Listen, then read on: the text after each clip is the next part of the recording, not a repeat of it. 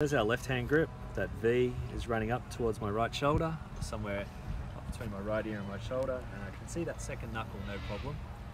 The right hand just sits on again in the fingers.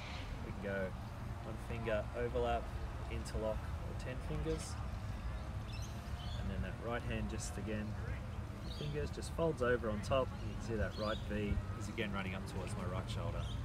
So when we look down, we've got two V's pointing up towards my right shoulder somewhere in there. Nice neutral grip.